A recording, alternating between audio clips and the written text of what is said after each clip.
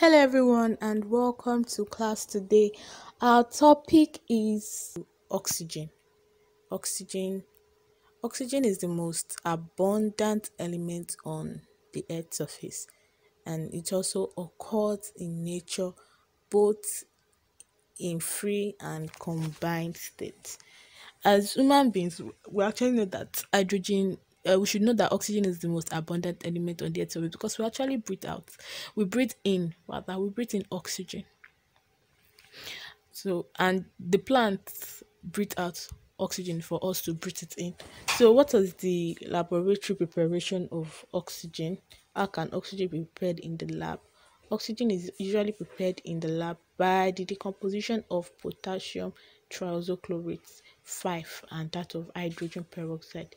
Decomposition meaning that the breaking down of uh, potassium trioxochlorate 5 under in the presence of it. So it gives us potassium chloride and also oxygen gas. The same with hydrogen peroxide which gives us water and oxygen gas. Industrial preparation how do we prepare oxygen in the lab so in places where a cheap source of electricity is available oxygen may be prepared industrially by the electrolysis of water. However, in most places, it is prepared by the fractional distillation of liquid air. Fractional distillation is a separation technique in chemistry and it is used to separate mixture.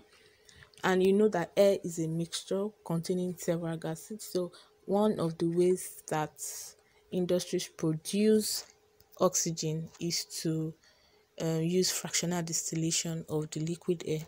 And the process involves two main process. Uh, the preparation involves two main process which is the liquefaction of water and the fractional distillation of the resultant li liquid air. What are the physical properties of oxygen oxygen is a diatomic gas which is colorless odorless and tasteless. It is also neutral to most to moist litmus paper. It is slightly soluble in water and is denser than air. All right chemical properties of oxygen. Oxygen is a non-metallic element periodic belonging to the group 6 elements in the periodic table the oxygen atom has six valence electrons six valence electron meaning that it has six electrons in its atom shell so now you note that Oxygen will need two electrons to complete or to acquire an octet electronic configuration. And will, it will acquire that from um, metals that have two valence electrons in their shell because they are readily available to give out the two electron. And um, oxygen can also undergo co covalent formation. That's by sharing electron with other elements. Number one, oxygen reacts with metals to form basic oxide. We have oxygen reacting with metals to form basic oxide, which in turn react with extra water or excess water to form um, potassium hydroxide. So look at this example. We have four molecules of potassium re reacting with oxygen. Okay, so this gave us potassium oxide.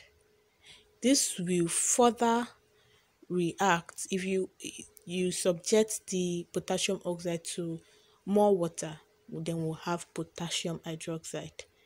Then oxygen also reacts with non-metals to form acidic oxide, which is known as acid anhydride. This acid anhydride will also dissolve in water to form acid. An example is that of carbon Carbon reacts with oxygen to give us carbon dioxide. Then carbon dioxide in turn reacts with water to give us hydrogen trioxocarbonate for acid. Okay, so reaction with compounds. Many um, compounds react with oxygen. Most hydrocarbons, carbon, hydrogen, bond oxygen to form carbon 4 oxide and water. And the reactions of oxygen with elements and compounds are example of oxidation reaction.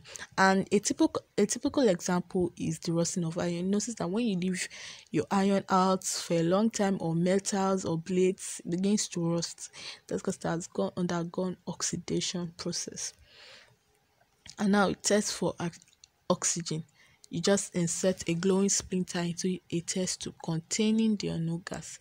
The rekindling of the glowing splinter indicates the presence of oxygen. So, what are the uses of oxygen? Oxygen is required for respiration. I told you that earlier.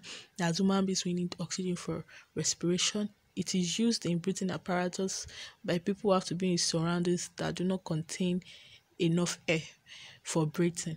Example is divers in the sea. You see them put on that tube in their um on their nose to breathe in oxygen, or astronauts in space, or mountaineers and pilots at high altitude, at high height and also people with lung disease and injuries that have difficulty in breathing the normal ordinary air are kept in oxygen tent or they are given um oxygen tank then also during surgical operation a mixture of anesthetic and oxygen is given to the patient, the anesthetics makes the person unconscious while the oxygen keeps him alive. Oxygen is also used in the manufacture of important acid. Liquid oxygen and fuels are used as propellants for space rocket and oxygen is used in the steel industry for removal of impurities from pig iron. All right, so let's come to the end of this class. Let's move to summary. Oxygen is the most abundant element on Earth. Oxygen has an atomic number of 8 and 6 valence electron. Oxygen will rekindle a glowing splinter. This is also a common test for oxygen. Alright, so I have some assignments here for you with the use of chemical equation. How sulfur reacts with oxygen to yield tetraoxosulfate 6 acid. Thank you and we've come to the end of today's class.